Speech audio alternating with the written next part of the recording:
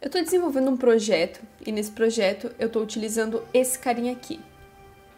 Esse aqui é um módulo NFC e RFID de longo alcance, chamado NFC Módulo V3. Esse módulo aqui, ele se vende como um módulo NFC e RFID, só que de longo alcance. Ele diz que ele traz aí uma identificação com uma distância muito maior do que aqueles módulos azuisinhos que a gente utiliza normalmente nos nossos projetinhos com Arduino, que são os mais comuns e mais baratos também. Eu quero fazer um teste com esse carinha aqui e verificar se realmente ele é um módulo que traz um maior alcance comparado com aqueles módulos azuisinhos. Isso porque no projeto que eu estou desenvolvendo eu preciso realmente ter uma distância um pouquinho maior dessa leitura, mas o projeto em específico ele vai sair em breve para vocês. Spoiler, é um projeto lendário aqui do canal. Olá, sejam todos muito bem-vindos ao meu laboratório e hoje a gente vai testar esse módulo aqui. Vamos botar ele à prova, vamos verificar se realmente esse módulo tem um RFID de longo alcance, ou pelo menos maior do que o módulo azulzinho, padrãozinho que a gente utiliza nos projetos com Arduino.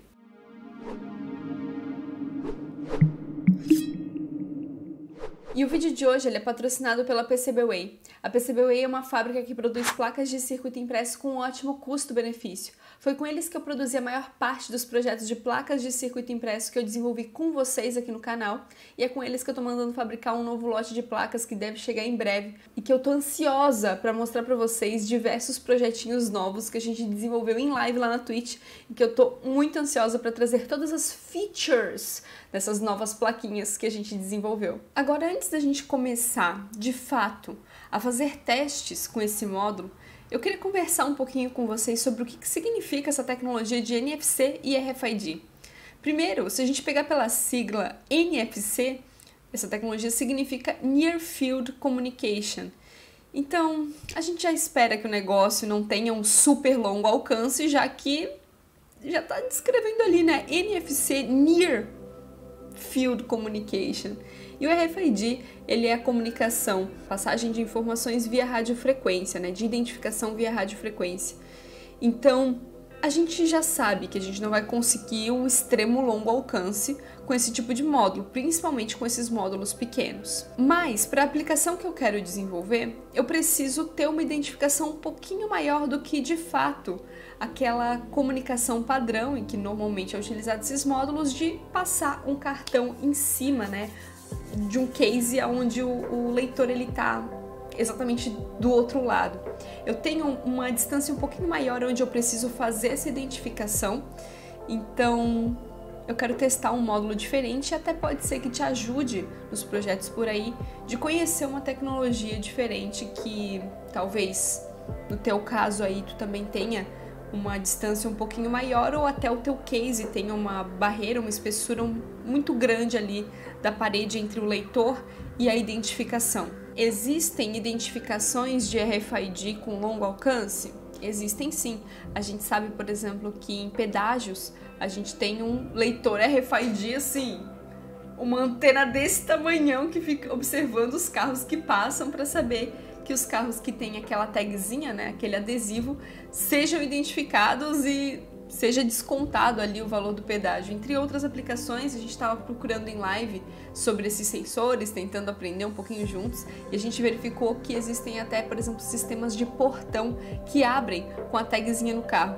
Eu achei isso sensacional, porque imagina, né, eu chegar na frente do meu portão e já poder estacionar o meu carro, porque o meu portão já me identificou ali, já abriu, já deixou passar e tudo beleza. Mas é claro que são aplicações muito maiores e os leitores eles são realmente bem mais robustos o que é bem diferente do que eu preciso para minha aplicação aqui, porque eu estou fazendo um projetinho microcontrolado, eu quero utilizar o meu Arduino para fazer esse projeto, vai ser uma coisa bem pequenininha, então não é necessário matar uma formiga com uma bazuca, até porque eu preciso, no meu projeto específico, que sim, eu tenha um alcance um pouco maior dessa leitura, mas eu não tenho a necessidade, na verdade, seria muito ruim para o meu projeto se eu conseguisse identificar a minha tag a mais do que um metro de distância, por exemplo. Então, beleza, vamos para a bancada, vamos começar a fazer a ligação eletrônica desse módulo aqui no meu Arduino e vamos testar.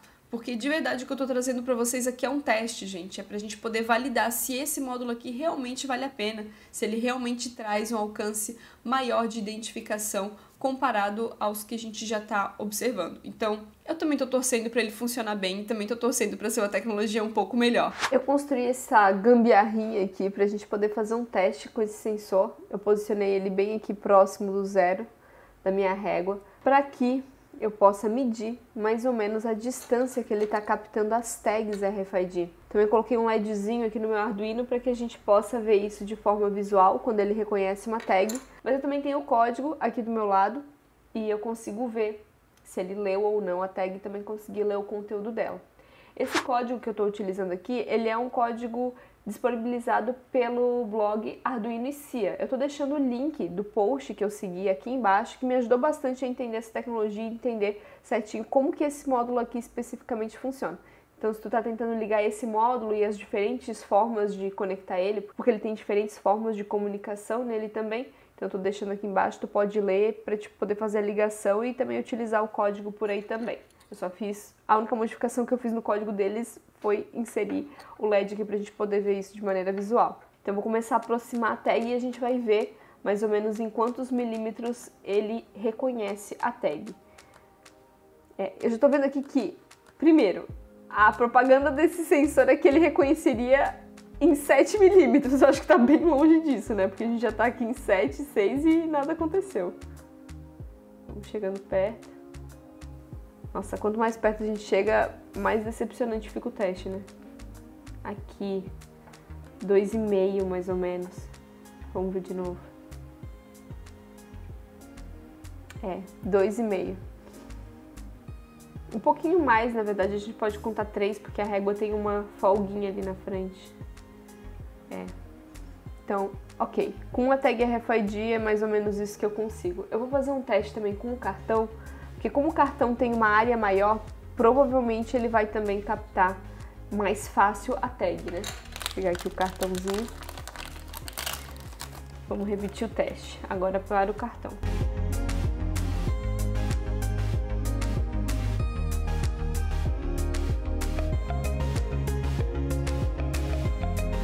Opa! Eu acho que o cartão a gente consegue considerar que deu bem próximo de 4 de 3,5 a 4.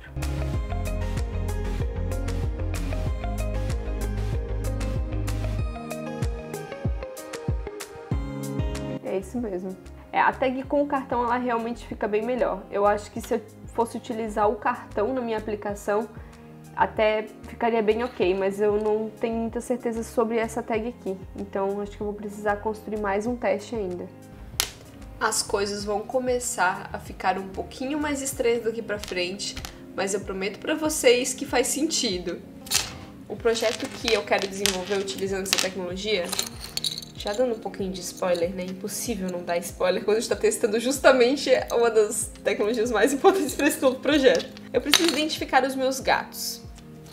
Não vou dar mais detalhes do que isso. Então, eu vou utilizar o peixe. O peixe é o brinquedo favorito do Manuel Tô colocando a coleirinha dele aqui junto com a tag RFID.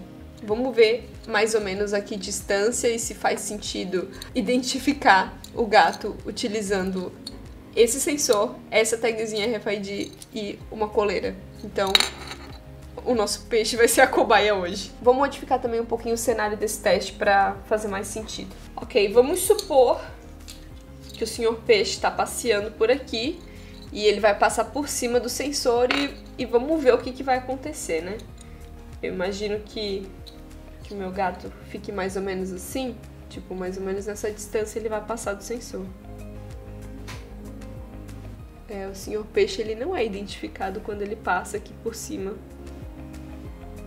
Vamos tentar diferente, vamos tentar um pouco mais próximo assim, talvez. Vixe! É, com a tag dessa forma aqui, ele realmente não vai identificar.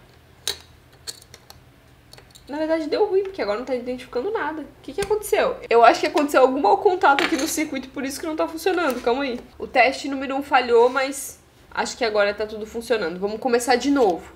Senhor Peixe está lá de boas. passeando. Vamos ver se ele vai ser identificado. Não foi identificado, senhor peixe. Eu acho que a tag RFID ela tem uma certa dificuldade de ser identificada quando ela tá assim, na vertical. Vamos ver. É, dessa forma aqui ela tem bastante dificuldade para ser identificada. Ela teria que ficar realmente dessa forma aqui, ó. Tiladinho. Também o senhor peixe deveria passar bem pertinho.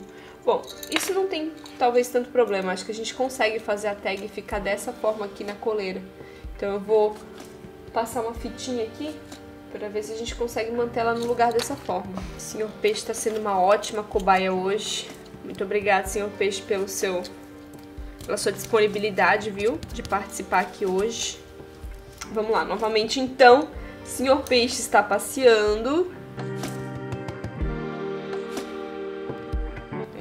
Ele teria que passear bem pertinho do sensor para ser identificado. Hum. O problema é que também é muito difícil eu colocar essa tag aqui na coleira do meu gato. Eu preciso realmente que seja um objeto bem pequenininho. Vamos fazer o último teste tentando abaixar devagarinho o senhor peixe para tentar analisar mais ou menos a que distância o meu gato teria que passar do sensor. É, mais ou menos assim. Já que vocês não estão vendo, deixa eu medir aqui.